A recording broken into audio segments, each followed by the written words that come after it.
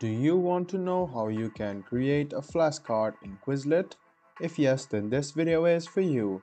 Hello and welcome to AI Basics. It's your host back again with yet another interesting tutorial video. In this video, I'm going to teach you how you can create flashcards in Quizlet.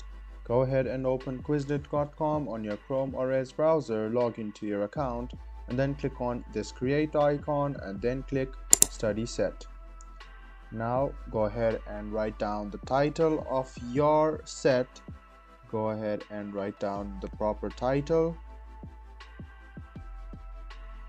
Write a little bit of description, your school name and the course. Now you can import or import the questions, import the diagram or create from notes so you can just go ahead and write down what is a business cycle or something like that and if you do so it will already load the previously loaded. Click on it and go to definitions. You can see there are a series of definitions. Go and choose the correct one and click create. So you must create at least two cards to create flashcards so what is accounting? Let's suppose let's search for this and write down the answer to it and then click create.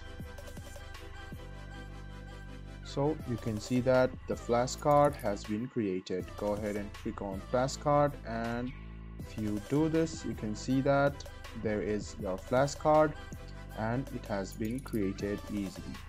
So it's quite easy guys. All you need to do is go and create study sets and then you can create flashcards and you can teach your students by tapping on it ask the question and then tap on the card and then it will display the definition. This way your flashcard will be created. You can share it to your students and ask them questions or you can just screen record your application and then show it to them I hope this video about how you can create flashcard was helpful for you. If you still have any kind of confusion, please do mention this on the comment section down below. Like the video, subscribe to the channel and do hit the bell button for more. Hope to see you in the next video as well. Until then, goodbye, take care and make sure you enjoy.